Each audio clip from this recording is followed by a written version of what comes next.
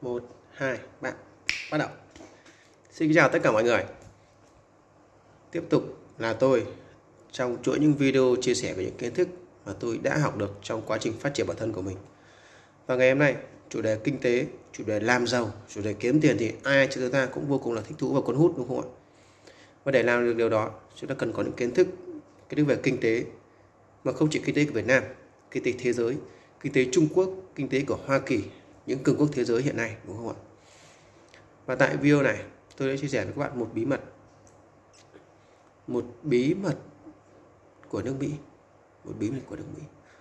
Và, và, và với cái bí mật này tôi đã chia sẻ trong giới hạn trong phạm vi những gì mà tôi biết và tôi nên chia sẻ. Bởi vì nếu tôi nói hết tôi sẽ không được yên ổn nữa. Vì nó không chỉ là chính trị nó không chỉ là những bí mật về giới tài phiệt nó không chỉ là những bí mật về cái thực sự diễn ra của nền kinh tế thế giới nói chung và của nước Mỹ nói riêng. Mà nó còn là những thứ vô cùng ghê gớm và vô cùng kinh khủng. Đã bao giờ các bạn băn, băn khoăn là cục dự trữ liên bang Mỹ thực chất nó là một tổ chức nào chưa các bạn đã bao giờ nghe được câu nói rằng một câu nói một câu nói vô cùng kinh điển chỉ cần khống chế được quyền phát hành tiền tệ của một quốc gia tôi sẽ không cần phụ thuộc vào ai là người lập, làm luật pháp. Chỉ cần khống chế, các bạn, chỉ cần khống chế được quyền phát hành tiền tệ của một quốc gia, tôi sẽ không phụ thuộc vào ai là luật pháp. Câu này lột tả hết những sức mạnh của cái việc kiểm soát cái đồng tiền trong bất kỳ một quốc gia nào các bạn thử hình dung và xem điều này có đúng không nếu như một cá nhân, một tổ chức nào đó mà thực sự đang kiểm soát cái tiền, cái quyền phát hành tiền tệ người của người tiêu dùng ấy, việc in ra bao tiền, việc mà sử dụng loại tiền mà bạc nào là do tổ chức đó quyết định, chính phủ đó quyết định, thì mọi điều tiếp theo liên quan đến giao thương, xuất nhập khẩu, mọi vấn đề về chính trị, về kinh tế, đối nội, đối ngoại sẽ đều được kiểm soát, đúng không ạ? Và nguồn gốc sâu xa của những cuộc chiến tranh cũng là từ đây ạ. Nó cũng là từ đây. Và về bản chất của cục dự trữ liên bang liên bang Mỹ, khi chúng ta nghe nói, bạn nghe nói, và cả tôi nghe nói đấy, tôi cái đây một thời gian ngắn rồi tôi nghe tôi nghe mấy chữ cục dự trữ liên bang Mỹ, sáu từ thôi nghe là một cái gì nó rất là chính phủ đúng không ạ? Nó rất là nhân bản, nó rất là vì con người, vì những người công dân của nước Mỹ, đúng không nhưng thực sự bản chất của nó là gì? Bản chất công việc của cục dự trữ liên bang Mỹ là gì? Các bạn đã bao giờ tìm hiểu chưa? Có tìm hiểu chưa? Cái chữ dự trữ ở đây thực ra nó là gì? À, cục dự trữ liên bang Mỹ, trụ sở của nó không phải ở New York trung tâm tài chính thế giới của Mỹ nói riêng và của thế giới nói chung, mà lại đặt ở Washington, một trung tâm chính trị của nước Mỹ. Chiến lược chiến thuật của họ là gì? Các bạn đã bao giờ nghĩ đến và băn khoăn thắc mắc chưa?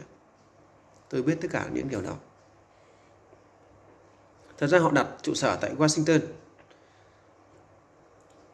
mà không phải đặt ở New York, bởi vì là gì?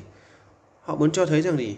Việc ra đời cục dự trữ liên bang Mỹ là một việc làm vô cùng đúng đắn vì công dân Mỹ giúp bảo vệ nền kinh tế của nước Mỹ. Đó là những thứ có thể để che mắt quốc hội Mỹ, che mắt nhân dân Mỹ. Đó là một ý thứ nhất. Còn nhiều, còn những ý tiếp theo nữa, nó thuộc về những bí mật mà tôi đã chia sẻ ở những nhóm kín. Và những nhóm kín này, các bạn có thể đăng ký tham gia, các bạn có thể là click follow kênh của tôi, subscribe kênh của tôi và liên lạc với tôi.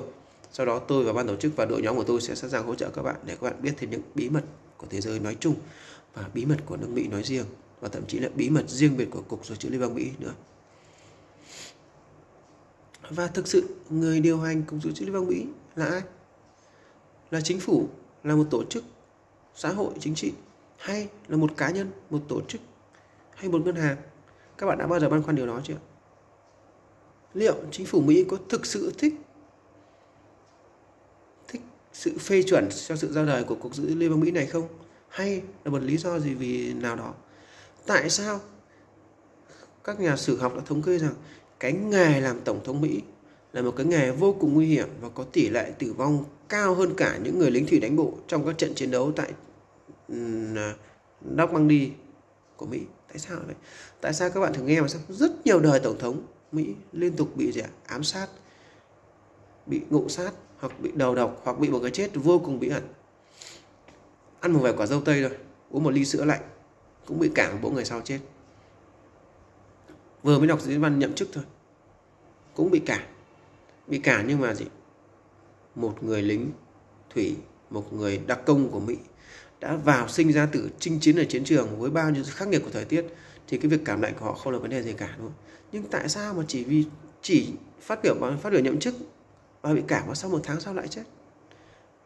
Có bí ẩn đúng không ạ? Bao nhiêu các bạn đã từng biết những câu chuyện như vậy và những người tổng thống như vậy và những người như vậy tại sao có những tổng thống?